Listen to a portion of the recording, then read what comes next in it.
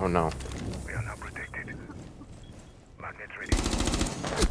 Oh wait, what? How the fuck did he kill me? I'm behind the wall.